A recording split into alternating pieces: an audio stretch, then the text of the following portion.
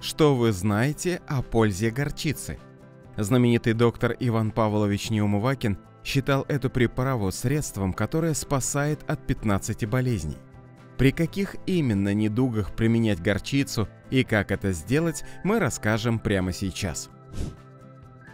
Когда горчица поможет? Горчица содержит ферменты, которые ускоряют процесс расщепления пищи в желудке. Это помогает предотвратить запоры и другие проблемы с пищеварением. Для усиления эффекта можно употреблять горчичное семя от половины до целой чайной ложки. Эту дозу в течение дня можно делить на несколько приемов. Вторая группа недугов, при которых горчица оказывает целебный эффект, это нарушение кровообращения и сопутствующие сердечно-сосудистые заболевания. Горчица содержит сульфур, который помогает расширять сосуды и улучшать кровообращение. Также горчица снижает уровень холестерина в крови. Это важно для противодействия атеросклерозу, гипертонии и нарушениям в работе сердечной мышцы. При гипертонии полезно использовать горчичники, но накладывать их нужно только на затылок и икры ног. Также горчица содержит много антиоксидантов, в частности сульфорафан, который защищает организм от свободных радикалов и помогает предотвратить развитие рака. Поэтому горчицу применяют в профилактике рака желудка и толстой кишки. Горчица содержит вещества, которые стимулируют выработку желчи, что помогает улучшить пищеварение и предотвратить образование камней в желчном пузыре. Полезна эта приправа и для больных диабетом. Профессор Неумывакин писал, что регулярное употребление горчицы помогает снизить уровень сахара в крови. Горчица успешно снижает воспаление, она обладает антибактериальными свойствами, благодаря которым уменьшает риск развития инфекций мочевыводящих путей. Благодаря содержанию витамина С горчица укрепляет иммунную систему и защищает организм от вирусов. Кроме того, она содержит микроэлементы, такие как железо и магний, которые необходимы для нормального протекания многих биохимических процессов нашего организма. Горчица содержит витамины и микроэлементы, которые необходимы для здоровья кожи и волос, а в сочетании с ее способностью улучшать кровообращение, горчица активно стимулирует рост волос. Для ухода за волосами смешайте 400 мл теплой воды и столовую ложку горчицы и втирайте в волосы на несколько минут. Затем тщательно смойте. В составе горчицы особое внимание стоит обратить на витамин А, без которого невозможно поддерживать здоровье глаз и хорошее зрение. Регулярное употребление горчицы защищает глаза от развития дегенеративных изменений, в том числе и широко распространенных у людей преклонного возраста.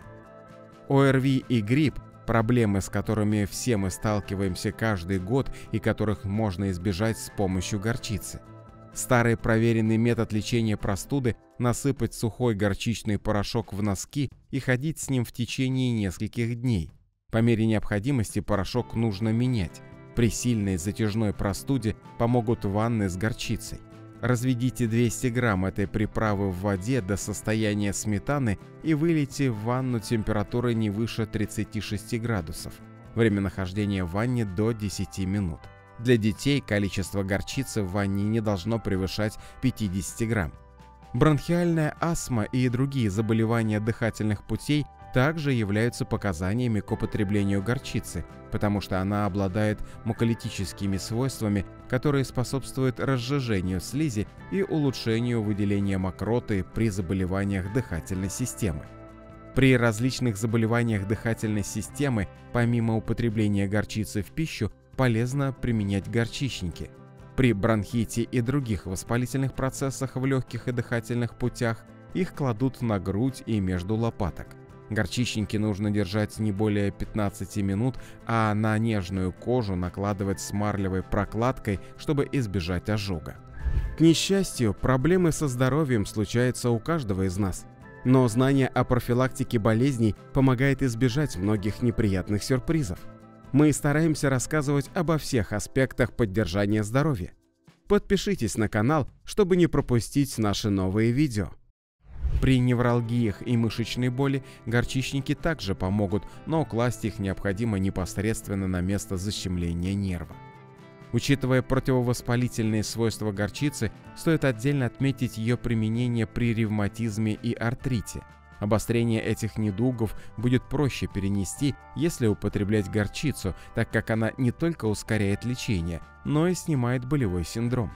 Для борьбы с болью нужно развести горчицу водой до густоты сметаны, затем нанести смесь на марлю или ткань и приложить к больному месту. Сверху накройте такую повязку бумагой пройдут при помощи горчицы и головные боли, включая мигрени. Этот эффект также обусловлен свойствами горчицы снимать воспаление и стимулировать кровообращение в сосудах головы. От икоты нужно добавить к горчице немного уксуса и размешать до состояния пасты, а затем намазать этой смесью треть языка. При судорогах пригодится горчичное масло, если натереть им место спазма, то он достаточно быстро пройдет. Когда не стоит употреблять горчицу? Противопоказаниями к лечению данным продуктом являются аллергия на него, беременность, прием ряда лекарств, с которыми это растение плохо сочетается, а также острые формы заболевания почек и органов ЖКТ. Интересен ли вам наш канал? Подписавшись на него, вы всегда будете в курсе новых полезных видео о здоровье. А мы, видя ваш интерес, будем стараться выпускать их как можно чаще –